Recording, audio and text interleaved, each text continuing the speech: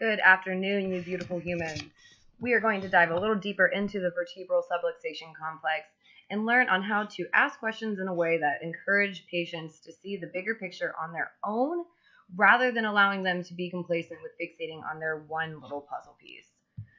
So let's see a different way of looking at the VSC. We're going to start off with kinesiopathology, which is the imprecise movement or lack of movement resulting in pathology.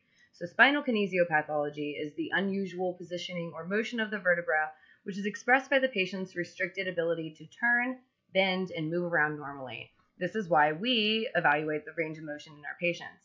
This imprecise movement of the spine is typically caused by the accumulation of microtraumas over time. Typically, in our case, we often see poor posture. Lack of motion is typically due to immobilization, which is the person who sits all day at work and then comes home to sit on the couch and watch Netflix for the rest of the night, or those who are in the hospital or on bed rest, etc. Over time, this is a major contributor to the development of arthritis. Moving on to myopathology, the dis-ease of muscle tissue. Immobilization or the lack of motion in those uh, vertebral segments leads to muscle contracture and changes in the tone of the local musculature. As you can imagine, improper position of the spine will lead to one part becoming tighter or spastic and others to weaken or lose tone. This is why our patients this is what our patients are feeling when they say, yeah, you know, my back's just a little tight, but I think it's muscular. Uh, they aren't technically wrong, but you can work on that muscle all day long and it will never make sustainable change to the structure. Thus, the problem isn't actually solved. These muscular changes are a major component to the compensation patterns that we see. This is one re- reason why patients may feel pain in one area, but the problem is really in another. Histopathology. This is changes in, in tissues caused by disease. This includes the inflammation that occurs around the fixated joint and impaired circulation to the joint, which results in decreased healing. We know inflammation can be a good thing, but chronic inflammation leads to changes in the actual histology of the surrounding tissues, which causes them to be in a weakened state, thus more susceptible to injury.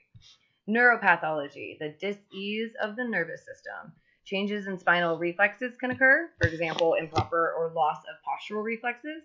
This is why we hear patients say, this is why we hear patients say, I have poor posture and it hurts to try to sit straight. I should work on that. Should I get a brace or that alarm thingy for between my shoulders to remind me to sit up straight? First of all, no, no, never. That just weakens everything, but that's this that isn't for today. We'll save that for another time. Uh, posture should remain in the subconscious state where it belongs. Our body knows how to combat external forces like gravity and movement.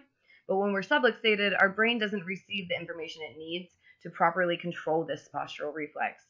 Neuropathology, neuropathology also includes the irritation to the nerves, which is often ex- expressed as pain in the region and throughout that nerve's pathway. When this nervous system is in a state of disease, our perception of reality is altered and pain blocks the other signals our bodies need to function properly. This is why a patient with a flare up is in such a hypersensitive pain state. Now, moving on to the next component of today, uh, asking better questions.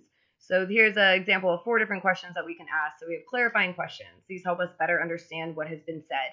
In many conversations, people speak past one another. Asking clarifying questions can help uncover the real intent behind what it is said. These help us understand each other better and lead us toward relevant follow up questions like, Can you tell me more? And why do you say so? both fall into this category. People often don't ask these questions because they tend to make assumptions and completely uh, and complete any missing parts themselves, which we really should avoid doing because that's when we miss the patients who have a disconnect and we don't notice it because we assume that they do. Uh, adjoining questions are used to explore related aspects of the problem that are ignored in the conversation. Questions such as how would this concept apply in a different context? So, our laser like focus on a daily basis uh, on immediate tasks often inhibits our asking more of these exploratory questions, but taking time to ask them can help us gain a broader understanding of something. Funneling questions are used to dive deeper. We ask these to understand how an answer was derived, to challenge assumptions, and to understand the root causes of problems. This is right up our alley. How did you come to that conclusion? What makes you think that? Like, what has made you think that this is a muscle issue? Now, elevating questions. This is also really important. These raise broader issues and highlight the bigger picture. They help you zoom out. Being too, too immersed in an immediate problem makes it harder to see the overall context behind it. So you can ask, taking a step step back, what are the larger issues? Or are we even addressing the right question?